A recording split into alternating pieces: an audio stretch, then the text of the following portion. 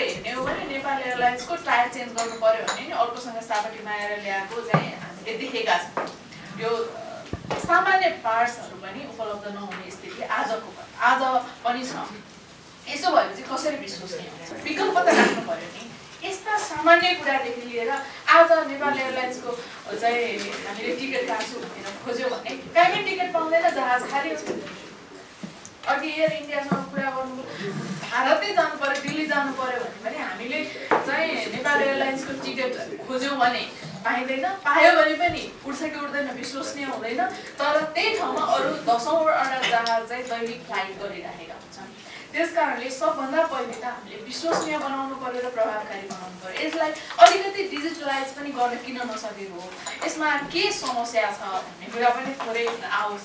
किनभने टिकटिङदेखि लिएर यसका चाहिँ प्रभावकारिता जस्तो अहिले त प्राइभेट जहाजहरूले सौर्य एयरलाइन्सले म झापा जानु पऱ्यो भने भद्रपुरको फ्लाइट आधा घन्टा ढिले डिले हुने भयो भने पनि उसले तर नेपाल एयरलाइन्सको त क्यान्सलै भइसक्दा पनि यात्रुलाई थाहा नहुने स्थिति हुन्छ क्यान्सल हुने सम्भावना म्याक्सिमम् हुन्छ।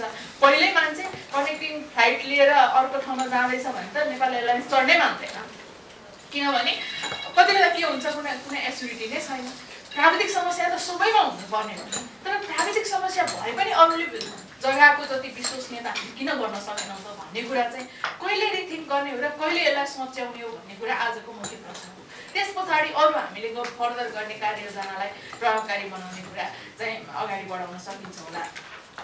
अर्को अघि पनि मान्यज्यूले भन्नुभयो। सबभन्दा बढी सु छिटो सूचना नेगेटिभ सूचना चाहिँ नेपाल एयरलाइन्सको किन बाहिर आउँछ? त्यहाँभित्रको व्यक्तिहरू नेपाल एयरलाइन्सभित्रकै व्यक्तिहरू बाहेक यो अरूबाट सम्भव छैन। अरू अरू एयरलाइन्समा पनि समस्या नभएका त होइनन्। इन्जिन हो सबैको इन्जिनको त एउटा इन्जिनसँग सम्बन्धित विषयहरू सबैमा हुन्छन्। तर त्यहाँभित्रका सूचनाहरू यति धेरै छिटो बाहिर आउँछन् कि सकारात्मक सूचना त्यति धेरै सुनिँदैन।